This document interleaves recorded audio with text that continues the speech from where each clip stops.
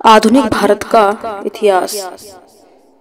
जो कि आपको पता है सभी परीक्षाओं के लिए महत्वपूर्ण है। आधुनिक भारत के इतिहास का हम परिचय से आकलन करेंगे। आधुनिक भारतीय इतिहास शब्द का तात्पर्य।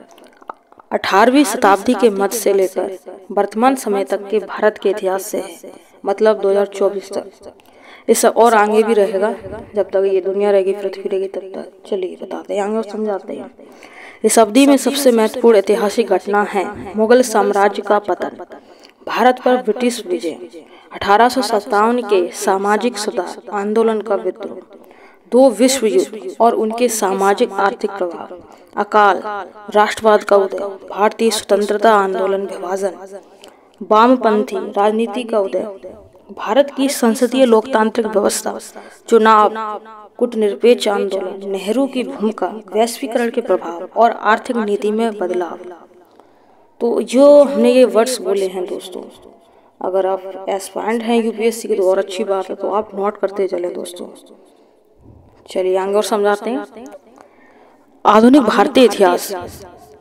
का प्रारंभ 18वीं शताब्दी के मध्य में होता है। इस काल की सबसे महत्वपूर्ण घटना मुगल साम्राज्य का पतन और भारत में यूरोपीय प्रवेश। भारत में आने वाले यूरोपीय व्यापारी पुर्तगाली थे। कौन थे? पुर्तगाली। और उन्होंने गोवा में अपनी पहली कॉलोनी बनाई।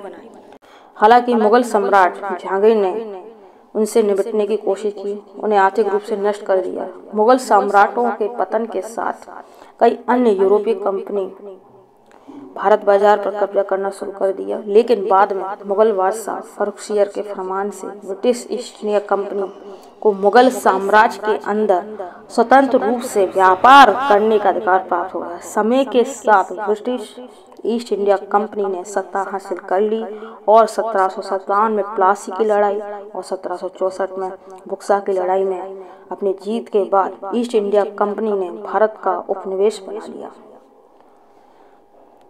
उपनिवेशीकरण के बाद यूरोपीय लोगों ने यूरोपीय शिक्षा का विस्तार करने के लिए स्कूल और कॉलेज की स्थापना की। पश्चिमी शिक्षा के उदय ने भारत में एक सामाजिक सुधार आंदोलन को जन्म दिया, जो महिलाओं के अधिकारों, जाति आधारित भेदभाव के उन्मूलन तर्क संगत और वैज्ञानिक ज्ञान के प्रसार आदि को प्राथमिकता देता है। ब्रिटिश ईस्ट इंडिया कंपनी ने भारत का एक गवर्नर जनरल नियुक्त किया था, जो कानून में कानून व्यवस्था बनाए रखने का काम सौंपा गया। भारत के ये सभी गवर्नर जनरल भारतीय संसाधनों के शोषण और अपनी दमनकारी नीतियों के लिए कुख्यात थे। उनमें से सबसे कुख्यात था लॉर्ड डल होजी जिसकी ब्रिटिश साम्राज्य के विस्तार की नीति से देसी राजघरानों में बहुत ज़्यादा गुस्सा था। साथ ही उनकी शोषणकारी नीतियों ने कई देश और राज्यों को लगभग एक तरह से बर्बाद करके रख दिया था उनकी आर्थिक स्थिति जैसे कई लोग मुश्किल से जीवित जीवित रह सके। इस सारे दमन और शोषण के कारण अठारह का विद्रोह हुआ।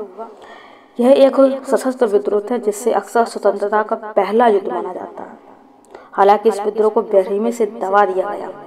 इसके कई नेताओं को मार डाला गया और अंतिम मुगल सम्राट बहादुर शाह जब्बर को रंगून में निवर्स्त कर दिया गया। उनकी बहुत ज़्यादा बुरी हालत कर दी। इस विद्रोह के बाद अंग्रेज़ी सामग्री रानी विक्टोरिया को भारत की सामग्री और शासक घोषित किया गया, लेकिन अठारह के विद्रोह का प्रभाव लंबे समय तक रहा।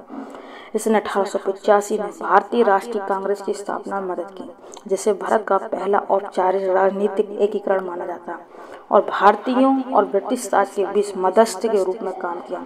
इस प्रकार भारत में सबसे पहले राजनीतिक आंदोलन में से कुछ थे तो ब्रिटिश अधिकारियों की हत्या कर दी गई, जब उन्हें प्लेग उन्मूलन के नाम उन्मूलन के नाम पर आम लोगों पर अत्याचारों की एक श्रृंखला शुरू की। यह यह पूरे भारतीय उपमहाद्वीप में पहली राजनीतिक हत्या थी।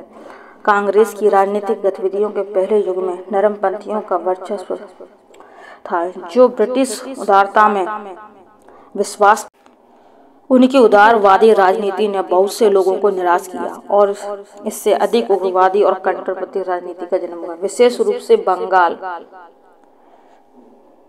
में 1905 में बंगाल विभाजन के चरण के दौरान कई क्रांतिकारी संगठन का जन्म हुआ, जो सशस्त्र संघर्ष और पूर्ण स्वतंत्रता में विश्वास करते थे। भारतीय राजनीति में महात्मा गांधी का उदय इस समय की सबसे उल्लेखनीय घटनाओं में से एक। उन्होंने पहली बार खिलाफत आंदोलन में भाग लिया, जब प्रथम विश्व युद्ध के बाद ओटोमन साम्राज्य ओटोमन साम्राज्य अंग्रेज़ों के हाथों हारा गया था। यह आंदोलन चंपारण सत्याग्रह और खेड़ा सत्याग्रह के पहले हुआ। वर्ष 1919 को रोलेक्ट एक्ट नामक एक अत्याचारी दमनकारी अधिनियम की शुरुआत के रूप में चिन्हित किया गया था, जिसने ब्रिटिश पुलिस को केवल संदेह के आधार पर किसी को भी रियासत में लेने का अधिकार दिया। जब लोग शांतिपूर्वक विरोध कर रहे थे और जलियाबाग नामक पाक एक गार्डन था, पार्क था, एकत्र हुए थे उसमें तो ब्रिटिश पुलिस ने उन पर गोलियाँ चलवा दी, जिसमें हज़ारों प्रदर्शनकारी मारे गए थे। इसने भारतीय क्रांतिकारी आंदोलन को बढ़ावा दिया और भारत में भगत सिंह और ऐसे कई अन्य क्रांतिकारियों का उदय असहयोग आंदोलन के बाद सवर्ण अवज्ञा आंदोलन शुरू हुआ, जिसने अखिल भारतीय गति पकड़ी। इस समय भारत में सांप्रदायिक राजनीति का उदय भी हो गया था। इस बार डॉक्टर भीमराव अंबेडकर के राजनीति में बड़ी भूमिका निभाई गई थी। केंद्रीय और प्रांतीय विधानमंडल में चुनाव हुआ। 1942 में भारत छोड़ो आंदोलन। द्वितीय विश्व युद्ध के फैलने के बाद भारतीय स्वतंत्रता आंदोलन को बढ़ावा दिया। भा, भारतीय राजनीति के इस युग को एक अखिल भारतीय नेता के रूप में सुभाष चंद्र बोस के उदय से चिन्हित किया गया। उन्होंने आईएनए की स्थापना की विदेशी सहायता ली और सशस्त्र संघर्ष के माध्यम से भारत को आज़ाद कराने का प्रयास किया हालाँकि उनके प्रयास असफल रहे लेकिन उन्होंने लंबे समय तक प्रभाव छोड़ा और भारत के नौसैनिक विद्रोह का प्रभावित प्रभावित किया उन्हें, लेकिन सांप्रदायिक और दक्षिणपंथी राजनीति के बढ़ने के कारण आज़ादी से पहले देश दोस्तों में बट गया। भारतीय इतिहास के उत्तरार्ध को संसदीय राजनीति के विकास निरपेक्ष आंदोलन में भारत की भागीदारी, आर्थिक संकट, पाकिस्तान के साथ युद्ध, बांग्लादेश का जन्म, वैश्वीकरण, आर्थिक नीतियों में बदलाव और आखिरी में चिन्हित किया गया था, कम से कम महामारी के प्रभाव। निष्कर्ष हम लोग समझेंगे भारत के मध्यकालीन इतिहास की विशेषता मुख्य रूप से दिल्ली संतुलन विभिन्न राजवंश मुगल शासन उत्तर पश्चिम भारत में राजपूत शासन दक्षिण भारत में विजयनगर का उदय और मराठा साम्राज्य का उदय और विस्तार। भारतीय इतिहास संस्कृति और विरासत में बहुत समृद्ध है। चलिए और समझेंगे। उन्नीस सौ उनतालीस से उन्नीस की प्रमुख घटना क्या थी उनके बारे में देखते हैं और समझते हैं।